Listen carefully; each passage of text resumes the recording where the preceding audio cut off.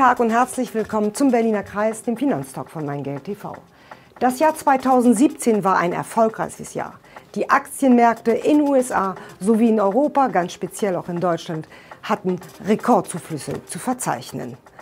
Doch ob es weiter so bleibt, weiß man nicht. Zumindest haben auch Anleger mit Anleihen sehr gutes Geld verdient. Nun will die EZB ihren Anleihenrückkaufprogramm zurückfahren von 60 Milliarden auf 30 Milliarden Euro. Und Herr Trump muss die Steuerreform, die er versprochen hat, umsetzen. Wie das Jahr 2018 aussehen wird, das wollen wir heute mit Experten besprechen. Und dazu begrüße ich ganz herzlich meinen ersten Gast, Herrn Gunther Westen. Er ist Global Deputy Head of Asset Allocation bei Odo BHF Asset Management. Eingeladen haben wir Herrn Markus Schuwerak. Er ist Executive Director bei Edmond Rothschild Asset Management. Guten Tag. Herzlich willkommen heiße ich Herrn Dirk Fischer. Er ist Geschäftsführer der Patriarch Multi Manager GmbH. Guten Tag. Bei uns zu Gast ist Herr Dr. Martin Lück. Er ist Leiter Kapitalmarktstrategie Deutschland, Österreich und Osteuropa bei BlackRock. Hallo, guten Tag. Und last but not least begrüße ich ganz herzlich Herrn Harald Fuchs. Er ist Mitglied des Vorstandes der First Foga Privatbank Aktiengesellschaft. Guten Tag. Herr Fuchs, können Sie uns verraten, welche Anlagestrategien haben sich dieses Jahr bewährt und warum waren sie so gut oder warum hatten Sie diese Ergebnisse? Ja, bei uns waren das im Wesentlichen drei Faktoren. Der erste Punkt war das konsequente Setzen auf die Aktie. Das zweite Element war Beimischung, intelligente Beimischung von Schwellenländeranleihen, insbesondere in Landeswährung und die Untergewichtung des Dollars. Das waren die drei Erfolgsfaktoren, die wir so identifiziert haben für unsere erfolgreichen Portfolien. Und das, ist, das hat zu dem Ergebnis geführt, dass es auch ja. die Performance war. Zweiter Platz in Österreich, DAFO Management. Wie sehen Sie das? Was war, welche Anlagestrategien waren gut? Und Also ganz, ganz generell vielleicht mal, äh, viele Momentum-Strategien waren sehr gut, sowohl im Aktienbereich als auch im Credit-Bereich, im Duration-Bereich weniger. Mhm. Ähm, Strategien waren gut, die versucht haben, so das Letzte nochmal rauszuquetschen, also die Kreditkurve richtig nach unten runterzugehen.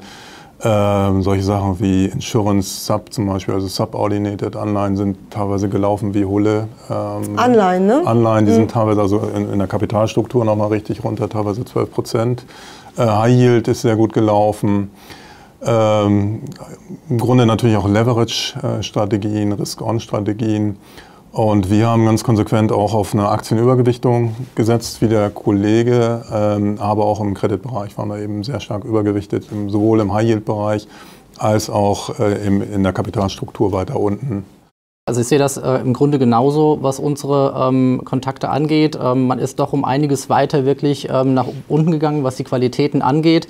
Ähm, was wir sehr stark gemerkt haben bei einem unserer Flagship-Portfolien im Bereich Financial Bonds, ähm, ist natürlich eben die Erholung, die wir gesehen haben äh, Anfang des Jahres, als sich die Problematik der italienischen Banken weitgehend aufgelöst hat. Und ähm, wie Sie gesagt haben, haben wir hier tatsächlich äh, zwischen 10 und 11 Prozent seit Anfang des Jahres auch mit verdienen können. Bei sehr, sehr moderater Volatilität. Das kommt immer sehr, sehr gut an. Und ansonsten, was wir auch gesehen haben, ist, dass breit äh, gestreute Rentenportfolien, voll flexibel, die wirklich die komplette Klaviatur der Rentenmärkte spielen können, plus aktive Durationssteuerung sehr, sehr gut angekommen sind und auch ein entsprechendes Ergebnis abgeliefert haben. Ich glaube, der Markt hat äh, in diesem Jahr ähm, weitestgehend so die Fete der Sorglosigkeit mit dem Geld der EZB gespielt, würde ich sagen die äh, Erholung des weltwirtschaftlichen Wachstums in verschiedenen Teilen der Welt ähm, hat eine ganz entscheidende Rolle gespielt in diesem Jahr. Das war praktisch auch der, der Gewinnzyklus, der in Europa wirklich erst Mitte letzten Jahres gedreht hat. Das hat sich in diesem Jahr fortgesetzt. Wir haben nicht den Gewinneinbruch gesehen, den wir in früheren Jahren gesehen haben bei den europäischen Earnings. Das hat unglaublich die Aktienmärkte getragen bis zum heutigen Zeitpunkt. Das sehen wir auch. Natürlich haben wir in Fixed Income auch Strategien äh, erfolgreich gesehen, die hauptsächlich Durations- durch Kreditrisiken ersetzt haben, aber nicht ja. aggressiv. Ja, es gab auch in Duration an der einen oder anderen Stelle noch, äh, noch durchaus Geld zu verdienen. Man hat das auch gesehen, zumindest phasenweise ist das ja durchaus nochmal hin und her gelaufen, weil eben noch kein klarer Call drauf ist. Und ein Thema, das eine ganz große Rolle gespielt hat, auch bei uns als Haus, sind Alternatives. Ja, also wir haben gerade von institutionellen Investoren extrem großes Interesse an alternativen Anlagestrategien, sowohl im liquiden als auch im illiquiden Bereich. Äh, und das hat auch in diesem Jahr wieder eine große Rolle gespielt. Also wenn man noch zwei andere Assetklassen hinzufügen will, äh, Immobilien sind auch überraschend gut gelaufen weiterhin, Ja, obwohl wo man man da gedacht immer hat. schon meint, ist man in einer Blase und so Genau. weiter, aber trotzdem äh, weiterhin hervorragend funktioniert. Und was für mich eigentlich die größte Überraschung gewesen ist, das war das Gold. Ja, es war per Stand 30.09. 10 Prozent im Plus und normalerweise läuft Gold immer dann, wenn die Aktien nicht laufen, als Eben. Krisenwährung. Und in diesem Jahr hatten wir eine der seltenen Phänomene, dass es mal eine Parallelität gab. Beides ist nach oben gelaufen. Warum eigentlich? Ich glaube, dass das schon ein Hedge ist in den Portfolien, ja, dass einfach äh, die Anleger auch sagen, ich brauche eine gewisse Diversifizierung und sollten die Aktien mal fallen, dann wird das Gold mir eine gewisse Stabilität bringen. Und das war, finde ich, ein sehr überraschender Faktor. So, Herr Fischer, die übliche Frage, die natürlich alle Investoren interessiert für das Jahr 2018, welche Risiken gibt es für dieses Jahr und welche Anlagestrategien oder für welche Produkte sollte er sich entscheiden, um das Jahr 2018 positiv für sich zu schließen, der Investor?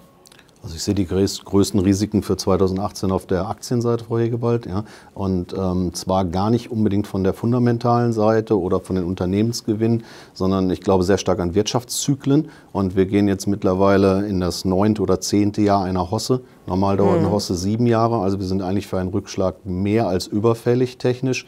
Und äh, ich befürchte, dass das nächstes Jahr passieren könnte. Also ich glaube, dass wir auf jeden Fall stärkere Volatilitäten sehen werden 2018, also größere Schwankungen.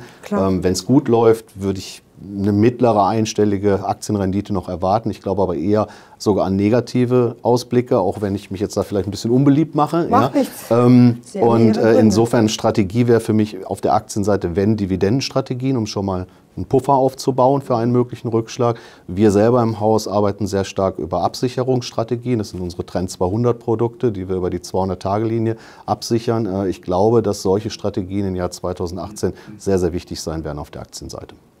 Also ich sehe durchaus kommendes Jahr vielleicht etwas mehr Probleme auf der Seite der geopolitischen Risiken. Ähm, wie ich äh, schon angedeutet habe, ist es eigentlich relativ wenig oder relativ viel Sorglosigkeit in, im Markt 2017 drin gewesen. Ähm, auch diese ganzen geopolitischen Dinge haben bisher eigentlich nicht wirklich richtig äh, die Märkte beschäftigt. Nee, haben sie nicht. Und ähm, von daher kann, wenn sich wirklich mal etwas weiter zuspitzt, äh, auch hier natürlich ein, ein Problem ergeben. Von unserer Seite her ist es so, dass wir hier eigentlich dann eher auf der konservativen Seite auch unterwegs sein wollen. Ähm, wir glauben natürlich immer, dass äh, ein, ein guter Mix das Ganze natürlich ausmacht, was ähm, am Ende des Jahres die Rendite des Anlegers äh, bringt. Und äh, somit zum Beispiel eben ein äh, flexibles Rentenportfolio, das ähm, eben auch wirklich alle Renten-Asset-Klassen, in denen man spielen kann und somit auch ganz flexibel und aktiv umschichten kann. Sofern eben, wie gesagt, auf der einen Seite Probleme auftauchen, kann ich dann auch entsprechend umschichten und hier für den Anleger trotzdem positive Rendite mit erzielen. Ähm, wir setzen allerdings auch im Moment äh, verstärkt eher auf spezielle Themen. Das heißt also auf Dinge, die eben wirklich eine langfristige ähm, Veränderung in den Märkten oder auch in, in unserem Leben, in, dem, in der Gesellschaft herbeiführen. Da ist zum Beispiel der Megatrend Big Data ein ganz großes Thema bei uns im Haus, das überall schon angekommen ist. Ja. Ähm, so richtig hat es zwar keiner im täglichen Leben gemerkt, aber wir sind schon mittlerweile im Big Data-Zeitalter unterwegs. Und äh, das sind eher so Themen, die wir dann vielleicht mitspielen würden. Anleihenteam. Genau. Ich glaube, dass ähm, wir ein ganz ähnliches Umfeld in 2018 sehen werden wie das gegenwärtige in 2017, dass das globale Wachstum äh, weiter stark bleibt und wir sehen im Moment sogar eher Revisionen nach oben. Also wenn man sich mal so die, ähm, den, den Konsensus anschaut für die ähm, Bruttoinlandsproduktentwicklung in der G7-Region, dann sieht das eher aus, als würden wir noch einen Schnaps stärker wachsen als bisher erwartet.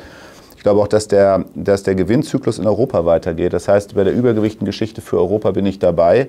Ähm, zumal wir auch mehr, wenn überhaupt, politische Risiken dann wahrscheinlich aus den Vereinigten Staaten haben mit äh, liefert Trump, äh, Midterm Elections und so weiter. So, und, äh, und dann kommt noch eine Geschichte dazu, allerdings, die wir auch sehen müssen. In der, die Risiken liegen eher in der Politik, sowohl was Politikfehler der Geldpolitik betrifft, sollte man nie ähm, untergewichten dieses Risiko, dass man eventuell doch die eine oder andere Zinserhöhung sieht, die man nicht erwartet hatte und die dann disruptiv wirkt für den Markt. Also es gibt durchaus Risiken, die man sehen kann, die kommen aber eher aus dem Bereich der Politik als aus dem Bereich der Ökonomie. Grundsätzlich bleiben wir ja positiv und deshalb auch übergewichtet in Aktien, vor allen Dingen in europäischen Aktien. Also wir sehen im Moment, ähnlich wie BlackRock, äh, steigende Unternehmensgewinne kommen in 2018. Steigende Unternehmensgewinne heißt für uns, dass die Kurse fundamental nach unten abgesichert sind. Dass eher steigende Kurse zu erwarten sind, denn sinkende. Ähm, statistisch gesehen äh, kann es durchaus sein, dass wir äh, die zweitlängste Hosse haben. Die längste haben wir noch nicht. Ähm, also wir, wir haben es vielleicht noch äh, zwei, drei Jahre vor uns, ja, die Hosse. Und im Moment sind aus unserer Sicht die größten Fehler, die ein Anleger machen kann, zwei. Erstens zu risikoavers sich aufzustellen, immer wie, die, ja, wie das Kaninchen vor der Schlange zu warten, wann kommt endlich der Crash. Äh, dann geht nämlich der ganze Anstieg am Anleger vorbei und hat nichts in der Kasse, äh, außer Spesen nichts gewesen. Äh, und natürlich muss man die Risiken in irgendeiner Form wahrnehmen und im Portfolio abbilden. Das heißt, er muss sich diversifizieren. Und ähm, am besten mit einer aktiv gemanagten Vermögensverwaltung. Wir haben uns diesbezüglich für 2018 neu aufgestellt und haben wie bei einem Schalter eine Vermögensverwaltung von 75 bis 100 Prozent Aktienquote jetzt implementiert, wo wir sehr schnell über Absicherungsstrategien äh, mögliche Rückschläge auch abfedern können, um Gewinne mitzunehmen und abzusichern für den Anleger. Ja, auf die Gefahr hin, so ein bisschen zu langweilen. Wir sehen das ähnlich. Wir haben im Moment so ein Goldilocks-Szenario. Und man muss sich ja nur mal vor Augen halten, wo wir herkommen, wenn, wenn man sich Fundamentaldaten in der Eurozone anguckt. Wir haben jetzt ein laufendes BIP-Wachstum irgendwo zwischen 2,3 und 2,5. Äh, und vor nicht allzu langer Zeit haben viele äh, noch davor gewarnt, dass die Eurozone auseinanderfliegt. Und wie Sie gesagt haben, das Ganze akzeleriert noch. Das Ganze akzeleriert auch noch weltweit. Ähm, das stößt eben so ein bisschen auf eine politische Verhärtung oder politisch schwierige Zeiten. Aber wir glauben, wir haben quasi more of the same für 2018, sind also übergewichtet in High Yield, in Credit Asset Klassen, die sich auf der Ratingstruktur weiter unten befinden, auf der Kapitalstruktur, gewichten Aktien weiterhin über vor allen Dingen Small Caps und Eurozone. Ähm, nehmen aber so ein bisschen die Chips vom, vom Tisch, äh, sind also nicht, sind moderat übergewichtet, nicht zu aggressiv übergewichtet, äh, weil es natürlich auch Risikofaktoren gibt. So, Herr Fischer, was sollte der Investor auf keinen Fall tun in 2018? Ich, äh, ich, finde, er sollte auf keinen Fall die Erfahrung der Vergangenheit einfach eins zu eins hochrechnen, also auf die Aktienmärkte, auf die Rentenmärkte bezogen, dass das alles immer ganz genauso läuft, wie er es die letzten Jahre erlebt hat. Ja? Weil ähm, ich sehe immer mehr Kunden, die aus dieser Hosse zwischen 2012, 2017, also aus den letzten fünf Jahren, schon wieder so ein bisschen in den Gier-Modus verfallen. Ja? Ähm, also ich glaube, da äh, sollte er sich wirklich nochmal äh, vor allen Dingen seine Risikoneigung hinterfragen für, für die mhm. Zukunft. Ja? Ähm, und äh, wovor ich auch so ein bisschen Skepsis zumindest habe, ich will nicht sagen Angst haben, das ist so dieser große Trend zur beratungslosen Anlagestrategie, ob es das Thema ETF ist, ob es das Thema Robo-Advisor ist und so weiter, ja, äh, dass es halt immer mehr in so ein Beratungsvakuum hineinläuft. Und ich glaube einfach, dass das Finanzwissen der Deutschen noch nicht so weit ist, dass sie da wirklich alle mit umgehen könnten. Ja. Also wenn er sich schon für so etwas interessiert, dann sollte er sich verdammt gut informieren und sollte wirklich auch wirklich versuchen abzuschätzen, wer kann ihm da wirklich beiseite stehen. Also er sollte sich nicht dem Trend widmen und sollte weiterhin äh, auch eine Beratung genießen. Das würde ich immer empfehlen, ja. Ja, der Anleger sollte in einem intelligent diversifizierten Portfolio auf jeden Fall seiner Risikoneigung entsprechenden Aktienanteil behalten. Deswegen ein Pro für die Aktie, äh, um den Risiken gerecht zu werden, äh, je nach Anlegermentalität intelligente ja, Absicherungsstrategien mit beimischen, äh, sei es jetzt auf der Rentenseite, dass ich sage, ich gehe in ja, Spezialitäten, Catbonds, Nachranganleihen oder ähnliche Dinge. Immer nach dem Motto der Engländer, don't put all your eggs in one basket. Mit einem vernünftig diversifizierten Portfolio äh, ist man noch nie schlecht gefahren und seinen Zeithorizont äh, ständig hinterfragen. Nicht langfristig sagen und übermorgen meinen. Das ist der größte Fehler, äh, der aus meiner Wahrnehmung häufig im Beratungsgespräch stattfindet. Auf der einen Seite nicht zu früh defensiv zu werden, das ist, glaube ich, wichtig, sondern den, den Bullen reiten, bis er tot ist. Ja, fast. Man hat, man hat immer noch Zeit, auch äh, Signale zu sehen, äh, zu sehen wenn, es, wenn es das Ganze sich dreht.